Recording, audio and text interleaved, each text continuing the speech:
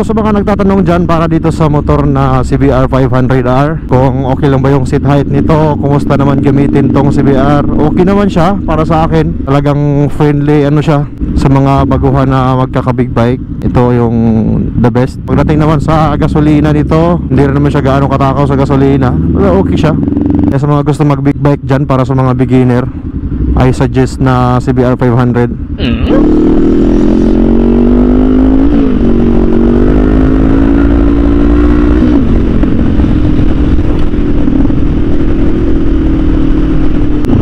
What's up sa inyo mga guys? Magandang umaga sa ating lahat. So Nandito tayo ngayon sa Nandito tayo ngayon sa kasada Saan pa ba? So na-miss natin yung ating motor no? Kasi matagal-tagal natin siyang hindi na Nasakyan. At matagal-tagal natin siyang hindi na drive Ayan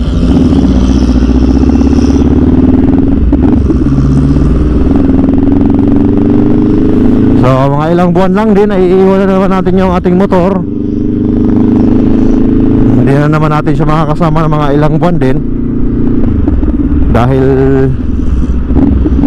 Babalik na tayo sa ating Sa ating trabaho. Ah, yan yung mga tropa natin oh. Yan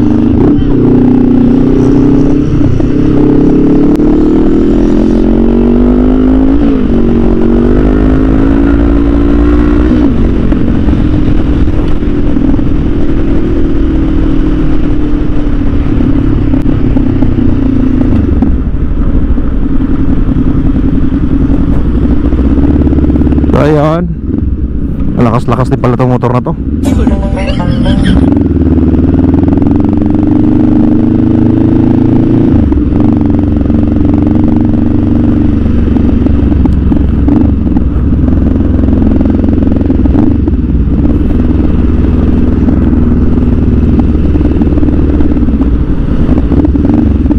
Ayan, nandito tayo ngayon sa Goodwill. Nandito na tayo sa Goodwill ngayon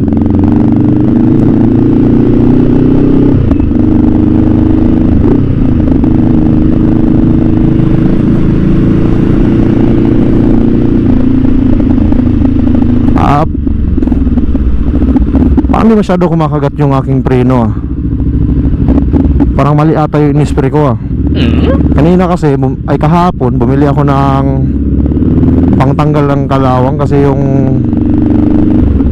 yung ABS dun sa likod ay sa harapan parang may kalawang konti tapos inisprayan ko rin yung ano niya ang hirap parang ngayon hindi na kumakagat yung brake o ngayon no hindi masyado kumakagat. Sa tingin ko parang mali yung nabili nating spray ah.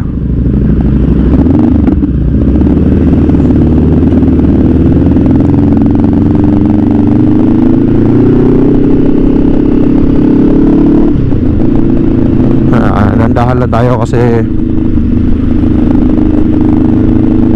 tayo maging kaskasero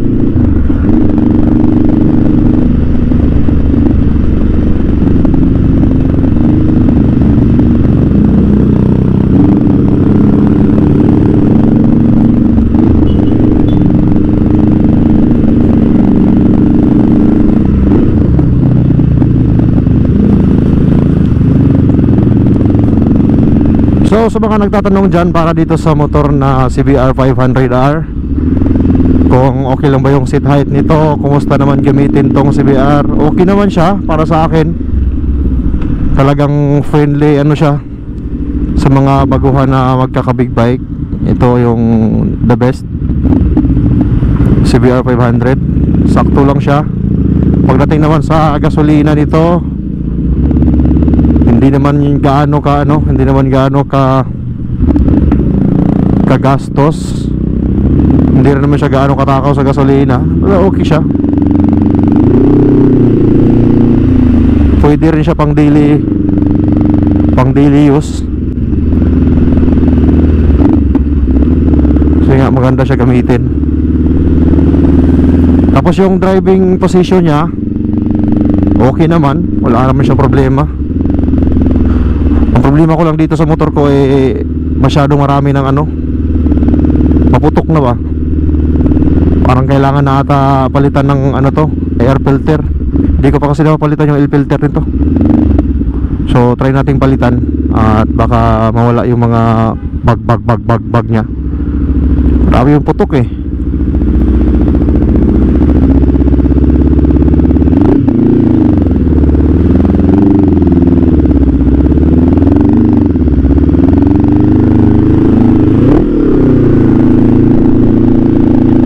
Sa air filter siguro yung ano nito. Kaya marami ng putok. Pero sa power nito, pambira Wala kang kaproblema-problema nito.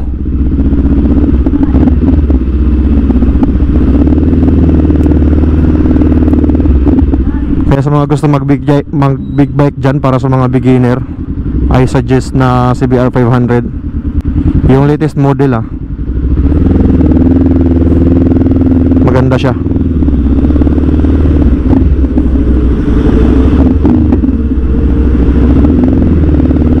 Maganda siya gamitin. So matraffic na po ngayon Dito sa Lagi talagang traffic to ditong area na to. Kahit na anong araw Pambihira Lagi to dito. Kaya pag pupunta ka lang ng ano Papasok ka sa Dati nag-aaral ako sa Fatima University.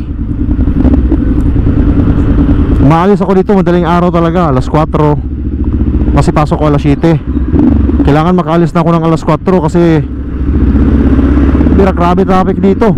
Eh Valenzuela pa yon Kailangan mag-advance ka ng mga ilang oras.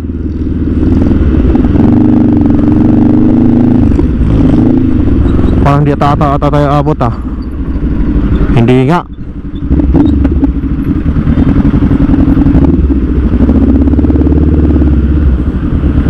Up, dito tayo sa gilid. Siyempre pasok tayo. Teka, kalupit Oh, siyempre doon tayo sa unahan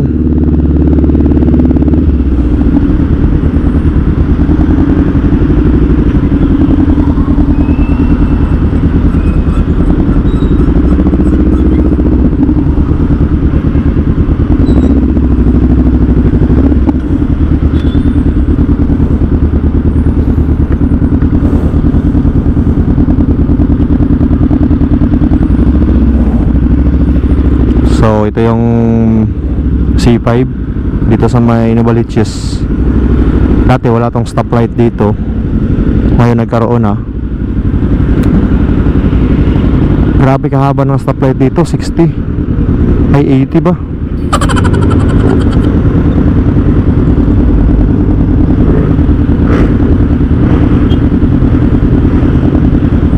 Yan, papuntang Inlex yan. Dito itong kalsada na to.